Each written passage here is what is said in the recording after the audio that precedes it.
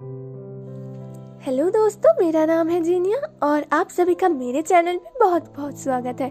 आज मैं आप लोगों के लिए एक Korean zombie series all of us are dead इसके एपिसोड वन को एक्सप्लेन करूँगी। तो चलिए शुरू करते हैं। सीन के शुरुआत में कुछ स्कूल के लड़के मिलकर एक लड़के को बुली करते हुए नज़र आते हैं एक बिल्डिंग के छत के ऊपर और उसे बुरी तरीके से पीटते हैं। इन लड़ाई के बीच वो लड़का अजीब तरीके से उठता है और उनको पलट के मारने जाता है, लेकिन इस बीच वो छत से नीचे गिर जाता है। फिर हॉस्पिटल का सीन दिखाया जाता है, जहाँ वो लड़का अपने पापा से बात करते हुए नज़र आता है।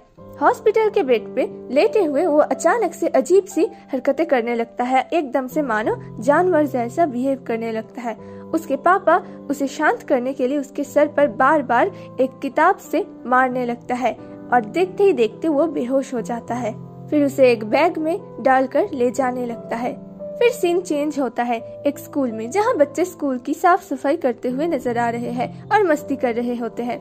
उसके बाद स्कूल की छुट्टी हो जाती है। सभी अपने अपने घर के लिए रवाना होते हैं और एक लड़की जो कि क्लास में सो रही थी, वो उठती है और देखती है, तब तक स्कूल एकदम खाली हो चुका है। वो भी घर के लिए निकल ही रही होती है कि तभी उसे साइंस लैब से कुछ खटपट आवाज़ आने लगती है। वो चेक करने के लिए साइंस लैब में चली जाती है और देखती है एक बॉक्स में एक चूहा रखा होता है। वो उस चूहे को पकड़ने के लिए जैसे ही बॉक्स के अंदर हाथ डालती है, वो चूहा उसे काट लेता है। और एकदम से वायलेंट हो जाता है। ये देखकर लड़की थोड़ा चौक जाती है, फिर तभी वहाँ पर साइंस टीचर ली आ जाते हैं। ये वही हॉस्पिटल वाला आदमी होता है, जो कि उस लड़की से पूछते हैं, तुम यहाँ पर क्या कर रही हो? लड़की कहती है, कुछ नहीं, इस चूहे ने मुझे बस काट लिया है। इतना कह के वो बस निकल ही रही होती है, तभी टीचर ली उसे एकदम से अंदर घसीट लेते हैं और दरवाज़ा बंद कर देते हैं। फिर सीन चेंज होता है, जहाँ हमें चियन सक और ग्योनसु को दिखाया जाता है, जो कि स्कूल से घर लौटते हैं। ग्योनसु सक से पूछता है, तुम्हारा रेस्टोरेंट ओपन हो रहा है ना? सक कहता है कि, अभी नहीं, उसमें टाइम है। फिर तभी उनके दो दोस्त वहाँ आते हैं ऑनजो और इसाक वो कहते हैं कि, तुम्हारी मम्मी ने हमें तुम्हारे रेस्टोरेंट ओपन होने पर इनवाइट किया है। जॉनसक कहता है कि, तुम लोग भी चलोगे? वो लोग कहते हैं हाँ ज़रूर, हमें भी चिकन खाना है। वो सभी मिलकर जॉनसक के रेस्टोरेंट पे खाने के लिए जाते हैं। फिर हम देखते हैं वो रेस्टोरेंट में बहुत ही मज़े से खा रहे होते हैं और चांसक की मम्मी उनको बहुत ही प्यार से उनके लिए खाना परोस रहे होते हैं। तभी अचानक से ईसाक कहती है साइंस टीचर के बारे में सुना है क्या? चांसक कहता है, क्यों पूछ रही हो? ईशाक कहती है, उनसे सड़े हुए मांस की बदबू आती है। जियोनसक कहता है, नायोन ने ये अफवाह फैलाई है ना? ओंजू कहती है, अरे नहीं, जब से उनके बेटे गुम हुए हैं उसके बाद से वो स्कूल नहीं आए और जब आए तो उनसे सड़े हुए मांस की बदबू आ रही थी।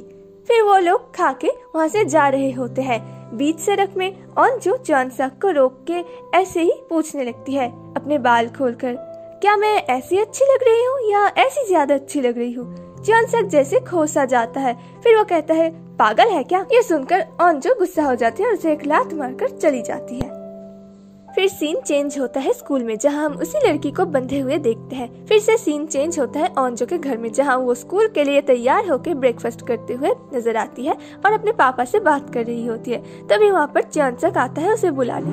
फिर वो रॉक पेपर सीजर खेलने लगते हैं, जिसमें ऑनजो हार जाती है। तो इसके मुताबिक उसे चौनसक का बैग स्कूल तक उठाकर ले जाना होता है। लेकिन ऑनजो भागने की कोशिश करते हैं, पर चौनसक उसे पकड़ लेता है। फिर ऑनजो कहती है देखना, मेरी उंगली कट गई है। चौनसक कहता है कि बैग हाथों से पकड़ना है, ना कि उंगली से।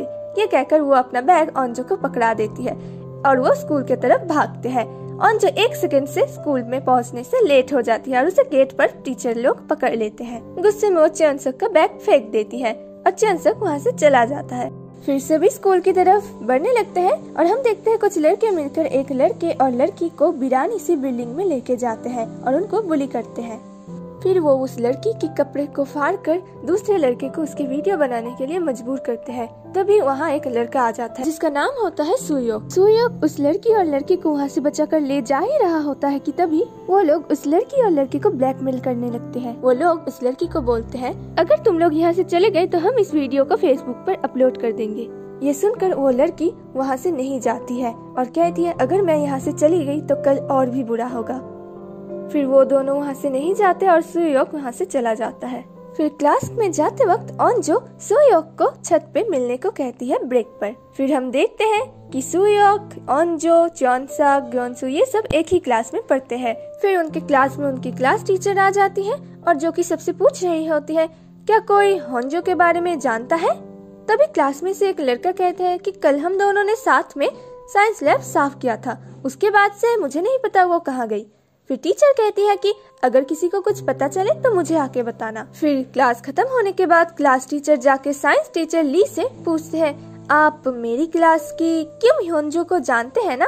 कल रात से वो घर नहीं पहुँची। सब कह रहे थे कि कल साइंस लैब साफ़ करने के बाद से वो कहीं दिखी नहीं। आपने उसे देखा था क्या?